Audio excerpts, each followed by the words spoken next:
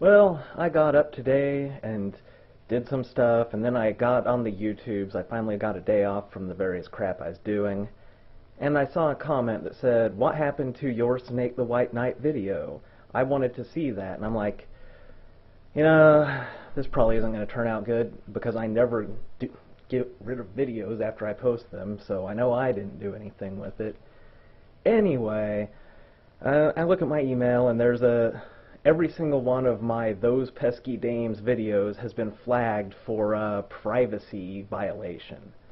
Now, I read through the privacy policy, and seeing as how I only, I didn't provide any additional information besides the source video itself, which is publicly available. But here's the thing about me. I'm, it's amazing how consistently people fail to realize this about me. I don't really care about YouTube all that much, and I'm not willing to go through a whole bunch of effort to, you know,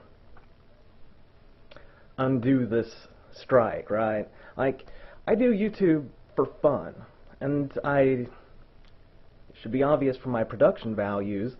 I don't script my videos. I don't do a lot of fancy production. I use my first take almost every time. So, you know, it has the best cost-benefit analysis. I get some entertainment, but I don't spend a lot of time or effort. Each of my videos takes a little, well, significantly less than an hour to make.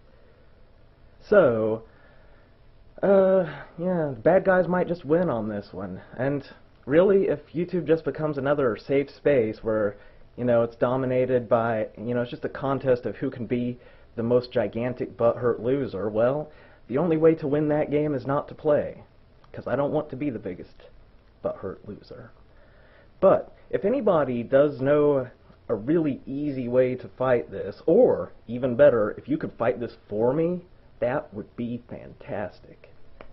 TTFN.